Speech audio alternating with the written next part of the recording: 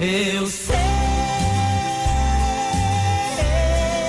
Distribuidora começa a testar o cartão do caminhoneiro nessa segunda-feira em áudio e vídeo Mariana Janjacomo.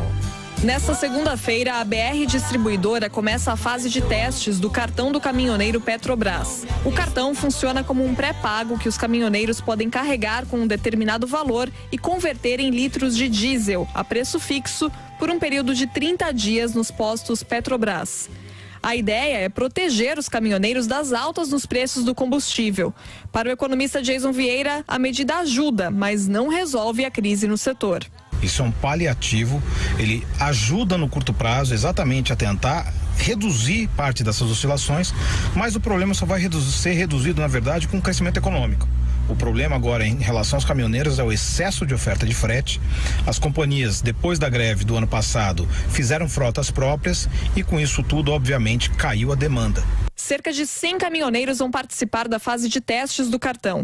Enquanto isso, os motoristas interessados podem fazer um pré-cadastro pela internet no site cartãodocaminhoneiro.com.br. A BR não dá prazo para o fim do período de testes, mas diz que assim que os resultados forem positivos, vai disponibilizar o cartão do caminhoneiro em larga escala.